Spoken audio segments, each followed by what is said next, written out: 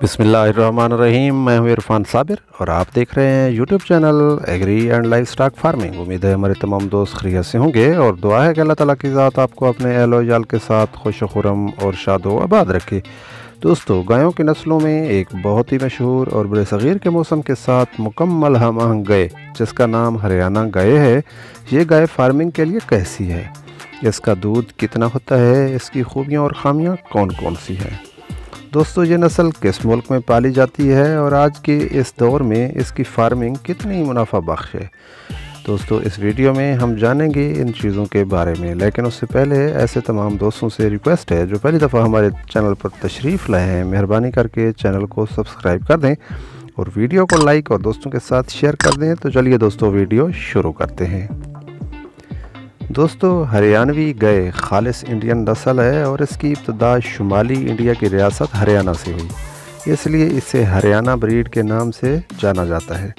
इस गए के और भी बहुत सारे नाम हैं, जिनमें हसार, हँसी और हरियाणवी वगैरह काबिल ज़िक्र हैं। ये गए रियासत हरियाणा के इन इलाकों में बेहद मकबूल और पसंद की जाती है, जिनमें रोहतक, करनाल करोक छतरा, जिंद, हसार और गुरुग्राम के अजला शामिल हैं। इसी तरह अब तो ये नस्ल रियासत हरियाणा के अलावा दूसरी कई रियासतों, जिनमें पंजाब, राजस्थान, गुजरात वगैरह शामिल हैं, में भी काफ़ी तादाद में पाई जाती है। इंडिया से बाहर यह नस्ल पाकिस्तान में भी थोड़ी बहुत तादाद में मौजूद है और लोग इसको काफ़ी पसंदीदगी की निगाह से देखते हैं। दोस्तों, अब हम इस गाय की खूबियों के मुतालिक बताते हैं ये गाय खालिशता दूध की पैदावार के लिए पाली जाती है और इसका दूध 1500 से 2000 लीटर्स पर इलेक्ट्रेशन होता है। इसका फैट पाँच फ़ीसद होता है, जो कि एचएफ और दूसरी इम्पोर्टेड गायों की नस्बत बहुत ज़्यादा है। इस गाय का एक दिन में औस दूध 14 से 18 लीटर तक होता है। तहम अच्छी खुराक और मुनासिब देखभाल की सूरत में दूध की मकदार इससे भी ज़्यादा हो सकती है। दोस्तों, इस गाय को दूसरी कई नस्लों की गायों से क्रॉस ब्रीडिंग के ज़रिए और मुख्तलिफ़ नस्लें हासिल की जाती हैं, जिनमें होस्टन फ्रीजियन, गिर, सहीवाल और रेड सिंधी वगैरह शामिल हैं।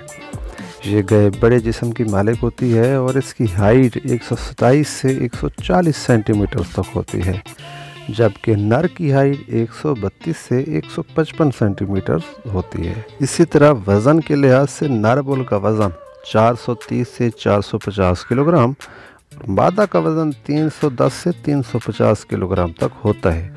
इस गाय के बच्चे का वज़न प्रदेश के वक्त 18 से 20 किलोग्राम तक होता है। दोस्तों, इस नस्ल के नर बछड़ों को काम काज के लिए बहुत शौक से इस्तेमाल किया जाता है और लोग खेती बाड़ी और बैलगाड़ी के लिए शौक से यूज़ करते हैं। ये नस्ल इस वक्त इंडिया में तकरीबन 10 से 15 लाख की तादाद में मौजूद है और इसमें मुसलसल इजाफा हो रहा है। मौसमी एतबार से ये नस्ल एशिया के तमाम ममालिक के लिए बहुत सूटेबल है और काफ़ी सख्त जान मानी जाती है। इस पर बीमारियों के असरात दूसरी नस्लों की नस्बत काफ़ी कम होते हैं। दोस्तों, ये नस्ल ज़्यादातर दो रंगों में पाई जाती है, जिनमें सफ़ेद और लाइट ग्रे कलर काबिल ज़िक्र हैं।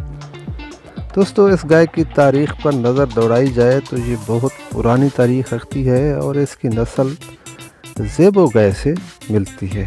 तो दोस्तों, ये थी हमारी वीडियो। उम्मीद है पसंद आई होगी। इजाज़त दीजिए। अल्लाह हाफिज़।